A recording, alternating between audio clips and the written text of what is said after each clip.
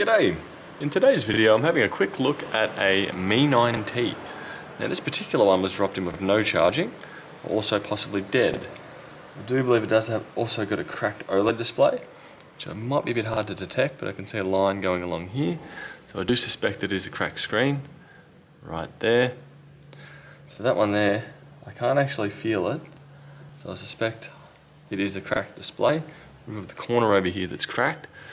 But more importantly, I just tried to plug the charging cable in. I'll just demonstrate to you guys. This is what I see on quite a lot of phones. So I'm trying to plug that in. That's me pushing it in. As you can see, it is barely in the phone itself. So this one here, I'd say, is going to have a very dirty charger port as well. So what I can use is an extremely fine pair of tweezers now, granted, I've done this heap, so not really a good rule of character or judge. But let's say, here's the port here.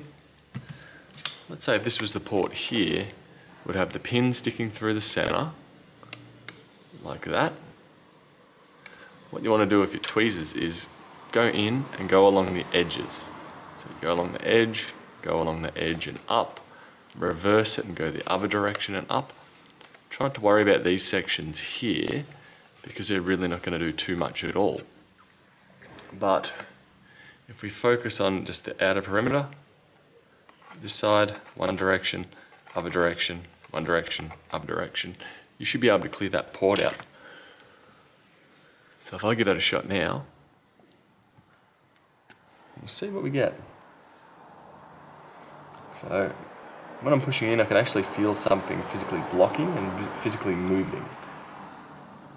You should be able to start seeing it now. If I do the same to the other side,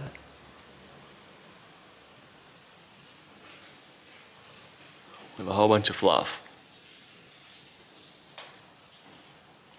So I find if you have a phone that's very hard of charging, or your cable seems to have to go in on an angle to charge, or it involves having to push out the cable, like the cable feels like it's getting pushed out as you're pushing it in.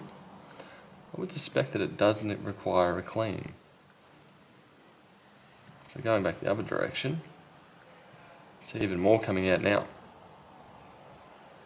Check that out.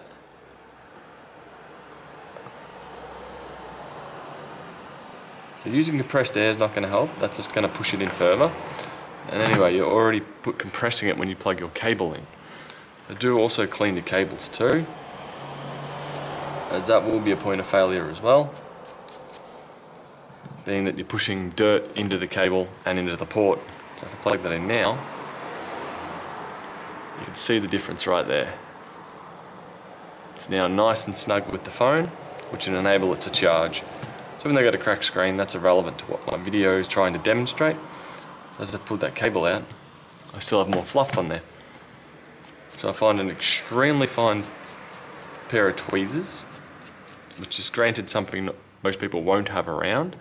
But if you take it to a repair shop, they should be able to assist in cleaning it for you. Typically I do it free of charge. And usually down the line it may entail replacing the charger port to get it to charge once more. But in this instance, giving that a clean, this phone should be able to charge once more. Anyway, I hope that helps you, and I'll catch you guys later. Still more dirt. So also, keep your ports clean. Bye.